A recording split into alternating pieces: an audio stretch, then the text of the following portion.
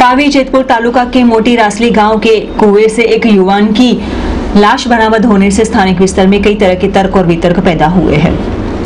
मिली जानकारी के आधार पर छोटा उदयपुर जिला पावी जेतपुर तालुका के मोटी रासली गाँव के कुएँ से आज एक युवान की संदिग्ध अवस्था में लाश बरामद होने के बीच स्थानिक विस्तार में हलचल का माहौल पैदा हुआ था। गाँव के सरपंच द्वारा कुएँ में लाश को नज़र आने के बीच पावी जेतपुर पुलिस थाने शिकायत की गई, जहाँ पुलिस ने घटनास्थल पर पहुँचने के साथ युवान की लाश को बाहर निकालते हुए ये लाश की पहचान करते हुए मोटी रासली गाँव का रहीश वैसा, रंजित हीरा राठवा की लाश होने की